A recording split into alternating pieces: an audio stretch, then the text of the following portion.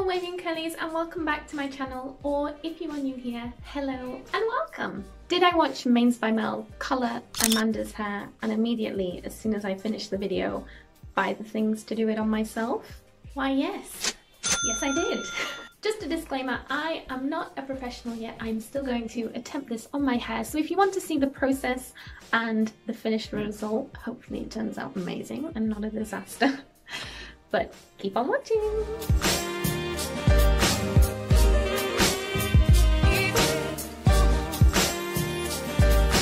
Struggled for like 10 minutes to part, but we're looking pretty perfect. My professional gloves. I'm working in diagonal sections as directed by Mel, and I am keeping my sections very small. Brad Mondo would be proud. By the way, how many hair videos do you watch where Brad Mondo is mentioned? I think at this point, are you even dyeing your hair if you don't record it, upload it to YouTube, and mention Brad? Asking for a friend. I got the measurements from Mel's video, which I will link in the description box because I do keep mentioning it. but anyway, for the highlights, I'm using 12 grams of Wella Koleston Perfect in the shade 1261 and 12 grams of shade 1289 with 44 grams of 40 volume developer. I went as close to the root as possible but I did leave a little bit of a gap of maybe 1 to 2 centimeters. And another tip I've learned from Brad is to be really generous and saturate your hair with the mixture which is what I'm doing. As the ends of my hair are already lightened, I didn't go right up to the ends and just coloured up to where I thought kind of looked darker. When editing, I cut out a lot of footage of me trying to section the highlights because that part was so hard. um, you'll see on some sections I just kind of wing it and hope for the best, like I'm doing now. you may be wondering what I did to prepare my hair for being coloured and the night before I clarified my hair. I did an Olaplex 3 treatment for a couple hours I conditioned with Kerotin Fresh Conditioner as it has a lot of protein in it to strengthen my hair and in the hopes I wouldn't damage my hair as much.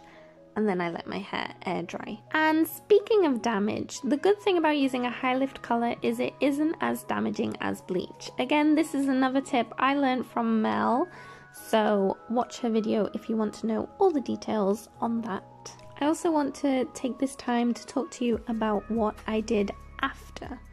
So when I got done olaplexing and toning after colouring my hair, I used Curly Secret Vitamin Hair Mask as it's super hydrating and this was recently gifted to me. I then used Unico shampoo as this is really hydrating and I used Kerotin Fresh Conditioner which by the way I have a discount code that I make a small commission off in the description box However, I do not recommend this for regular use or if your hair is lower porosity or protein sensitive as like I said before it is packed full of so much protein so if you use this too often you could experience protein overload. However, I am loving it so far and I do like to use it every once in a while when my hair needs a bit of a boost of protein. To style, I use Floracurl Curl Activating Lotion and their Curl Defining Gel on wet hair I also have a discount code for these in the description box, but I do not benefit at all if you make a purchase, it's just to help you guys out. And I chose these because both of the products have a little bit of protein in. I then plopped and used EcoSlay Orange Marmalade on damp hair and diffused until dry. I do want to say that a bit of thought process went into choosing out my products. I picked them out very carefully I wanted to use a combination of products that I know work for me rather than trying something new. I opted for a decent amount of protein and also I wanted to use lots of hydrating products to help my hair bounce back as quick as possible. We are almost coming to the end of my highlights. Finally, I tried to work really quickly. I think it maybe took me 40 minutes to do it all. I was a bit slow. Obviously, I'm new to this. but yeah, we're nearing the end. We're almost there. For the lowlights, I am using 22 grams of Wella Color Touch in shade 5 and 22 grams in shade 6 mixed with 80 grams of 6 volume developer. These are demi-permanent, meaning it won't damage my hair as it's just depositing colour and it will slowly fade over time.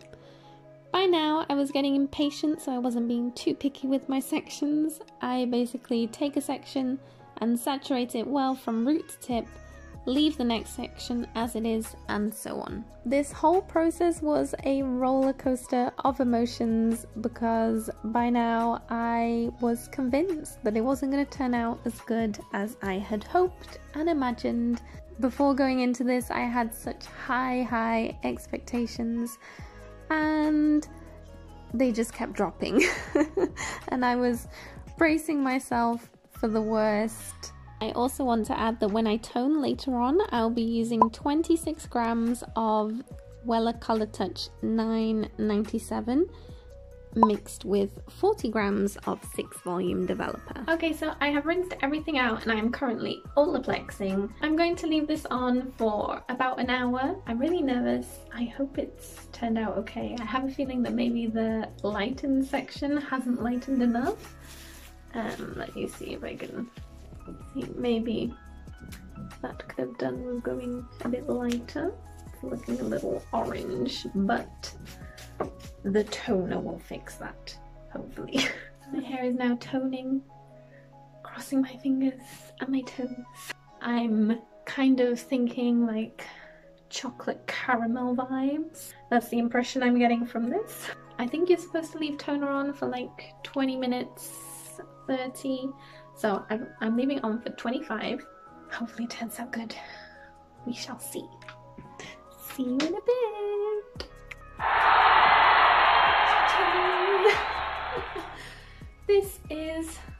The finished look.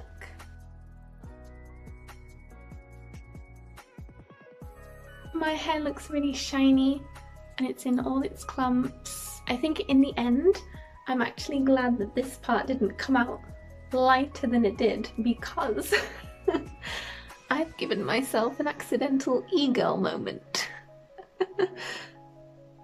oh, how cute does that look? Feel like a caramel swirl. I feel like I need to see it in daylight to get a real feel for it and what it looks like and the colour. So I will probably record how it's looking tomorrow, but oh, I'm loving how it looks. It's giving me really autumn vibes. And then if I put all my hair this way, because this is how I sometimes take my Instagram photos. And then if I put it all this way, and like if I part on this side, it, it kind of hides the highlights that I gave myself. Whereas if I go this way, you can see them more. I love how this turned out. It was not easy to do, I'm not gonna lie. I'm terrible when it comes to doing like intricate things with my hair. So the kind of weaving thing, I couldn't really get that down. but I think I think it did okay. I'm really curious to see how this will look over the next few weeks as it washes out. I think my hair is in good condition. My hair doesn't feel compromised in any way, it doesn't feel damaged. So anyway, I will be back tomorrow to show you what this looks like in daylight. This is day two. That blonde is a little bit chunky, but other than that, I'm loving how it looks. What do you guys think? Let me know. Thank you guys so, so much for watching. I really hope that you enjoyed coming along with me on this ride. If you like the result, let me know down in the comments what you think. Don't forget to hit the like button so I know that you enjoyed this video and subscribe so that you don't miss any of my future videos. I upload every Friday, so don't miss my next video. And until then, bye, see you soon.